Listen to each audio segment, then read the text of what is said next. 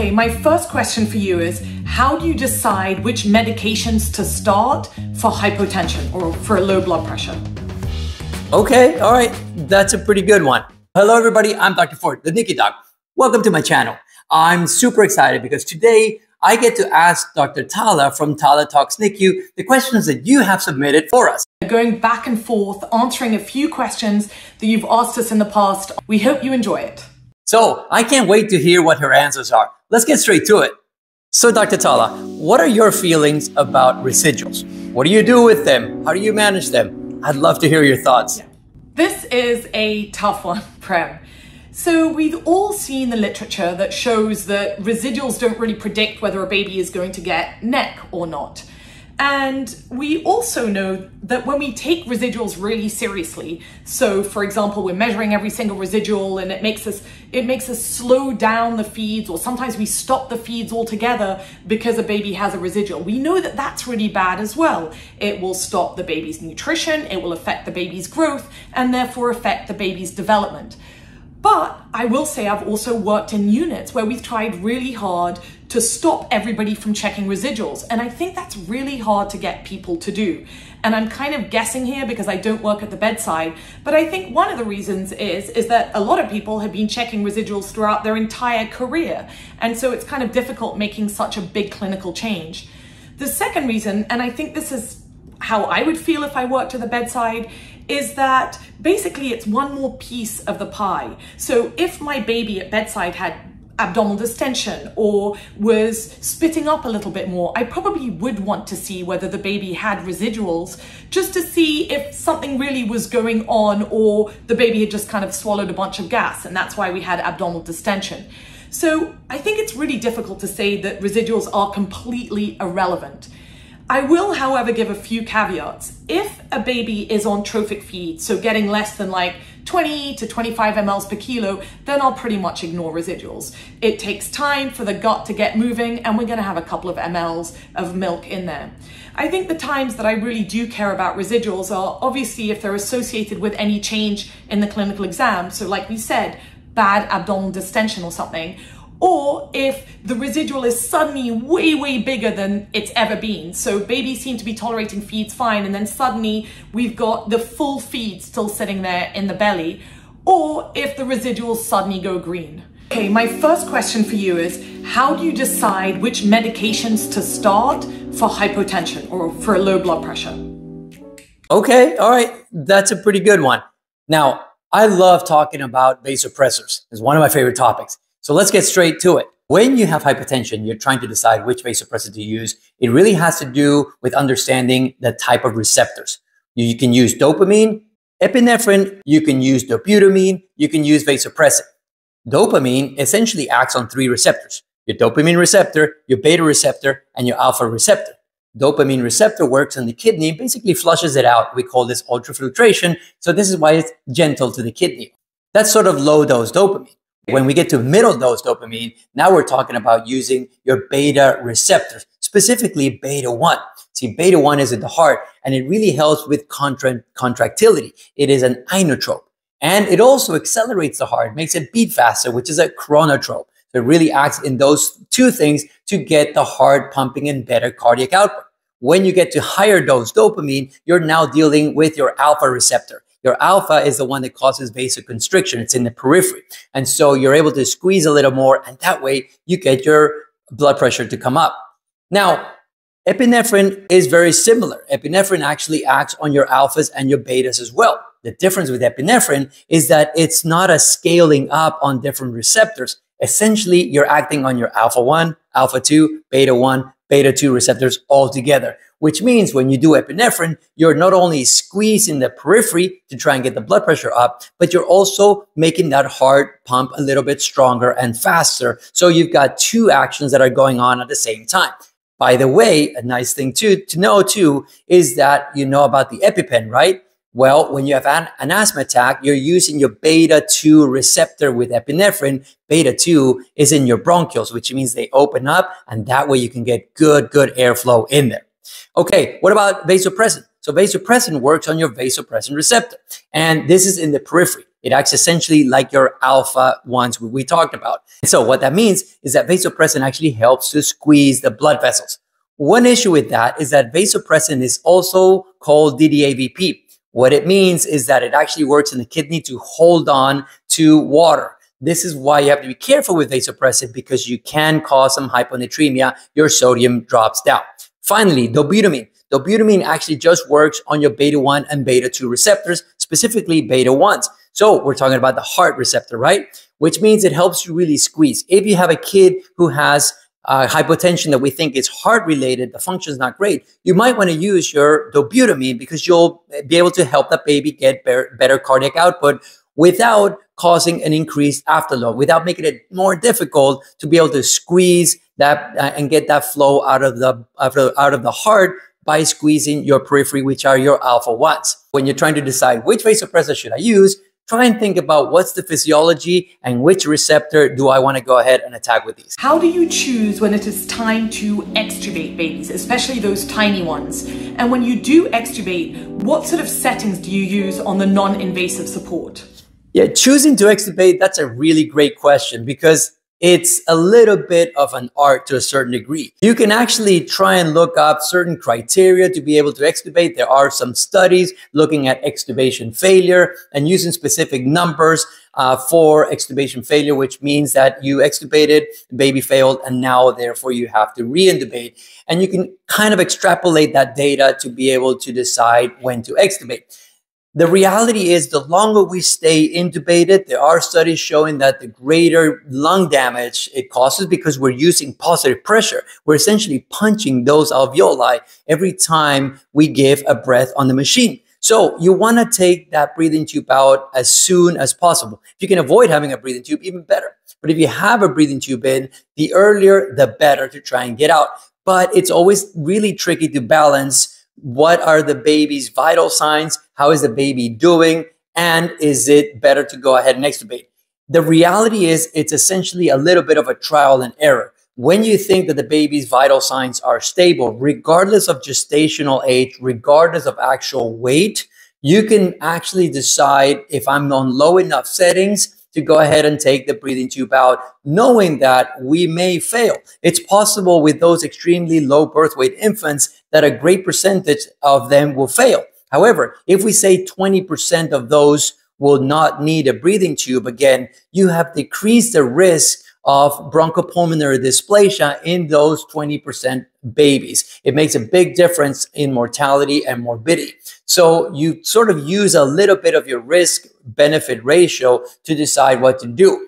If you're able to get settings, and most people will say, if you're able to get your, you know, respiratory rates on your mechanical ventilator in the mid to low 20s, if you're able to use or have PIPs in the, you know, mid teens to 20 at most, if you're able to have a PEEP uh, somewhere below sort of seven or eight, and by the way, some places we're talking about, there are different places of extremes, but roughly those numbers gives you a good indication you're probably good enough to be able to extubate. Some programs will actually do a pressure support trial. What that means is that you're taking the whole SIMV and AC and other types of mode and you put them on pressure supported ventilation. What that means is the baby is doing the job but the machine is giving extra pressure because essentially you're breathing with an ET tube through a straw. So it helps with breathing through the straw, but it gives you an idea does the baby actually tolerate being on those pressures and breathing on its own?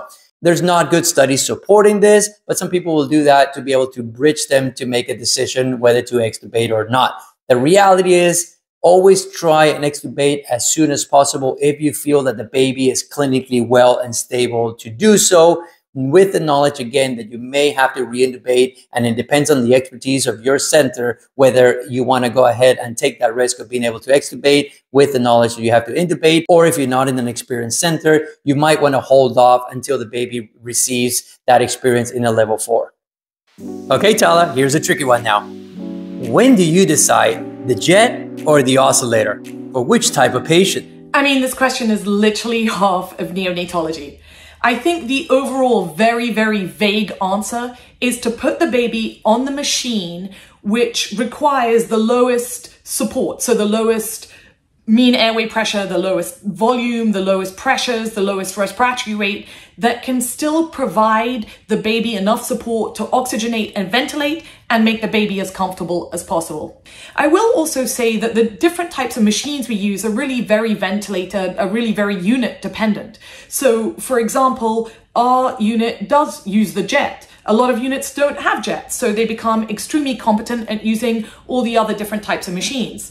So I'll kind of let you know what I do or what we pretty much do in, in our units. And that is the tiny, tiny babies, so 22, 23, 24 weekers, we'll pretty much put them on the jet. And they're probably staying on the jet for, for some time, at least kind of a couple of weeks or so.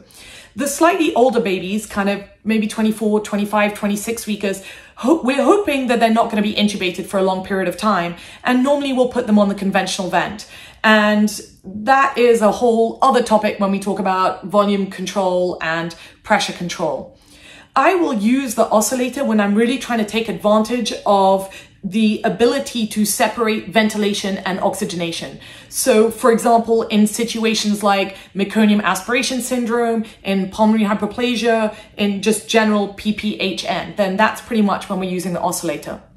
The other super vague thing I want to add is that babies will really let you know what type of gas exchange they prefer. So for example, sometimes you have to put them on the conventional vent and then just change around loads of different settings until you can find exactly when that baby is breathing the easiest and kind of has the best gases and lowest FiO2 and stuff.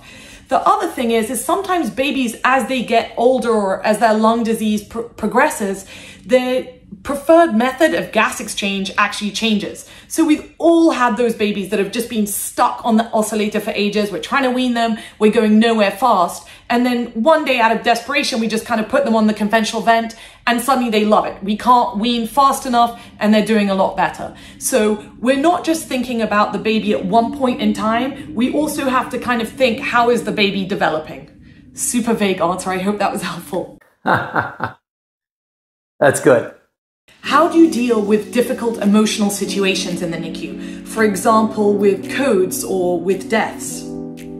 Yeah, wow. Okay, that is a uh, charged question, but I think a really important one for us to address.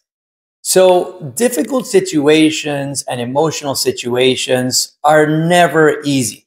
There's nothing that you do in training. You may be recorded a million times, you may be taught classes, it doesn't matter until you sit down and deal with a baby who is coding, with a baby who is dying or who has a lethal disease. It is very hard to know exactly what to say, how to say it, and by the way, to know how you're going to react until you're there. One of the things that I teach my trainees is essentially be open and honest. Uh, if you have some type of a bond with the family, use that. It's okay for you to get emotional. It's okay for you to feel down, sad. It's okay if you want to cry with the family. It, you have to get a feel for that and how much of that is sincere. Families really appreciate you when you're honest, sincere, uh, especially if you know, especially if you know the baby don't try and fill in the silence with nonsensical, you know, phrases or things. Uh, you know, you never want to say we're going to a better place. Nothing like that. Silence is okay. You need to feel the room a little bit. And this is why it's so hard to teach. One tip that I can give you is getting that conversation started about either a very severe situation or a death you want to prepare the family that you're going to be talking about something that's very serious and something that's probably not great news. You can do that by lowering your voice. You can position them well. You can have them sit down. Again, silence communicates a whole lot. Your body language communicates a whole lot. So as you walk in, you give them time to prepare themselves with the idea and the knowledge that you're going to start relaying some information, which is going to be very difficult to relate. And that leads to walking them through the process until you actually give that information. You know, we, your baby started having some signs of A, B, and C. We went ahead and did, you know, B, C, and D. And as we were doing that, we noted, you know, all these other things. And so you walk them until the point where you go ahead and give them the information. And then when you relay that really difficult information, it's okay to stay quiet. You need to give time for the family to absorb that information. They're asking questions, you respond. This is not the time to give the information and then keep talking. You stop, you read the room, you respond if, respond if you need to, but this is the time for quiet introspection for the family, for them to really gather all their strength, the people around them, all the support. So this is really difficult and very hard to answer in a few minutes, but it is something that with time you can really learn to be able to do this well with respect, with love, with honesty, and with transparency that you gave them the respect and the love that that baby deserved. And so it is a really difficult topic to talk about, but unfortunately, in the ICU, we do deal with death. And so you really want to learn how to be compassionate about this. All right, everybody, thank you so much for those great questions you submitted. I'm going to continue to do this back and forth with uh, Dr. Tala. I appreciate her coming on to the channel to talk about these questions. Really, really good answers. And we'll hopefully be able to do this again. We're going to go ahead and ask you to submit questions either through YouTube to the channel or Instagram. You can follow me at the NICU Doc and we'll be able to get those questions. We'll pick out a few and then we'll answer this on YouTube. Thank you so much for your time. As always, Dr. Fort signing out. We'll see you with the next video.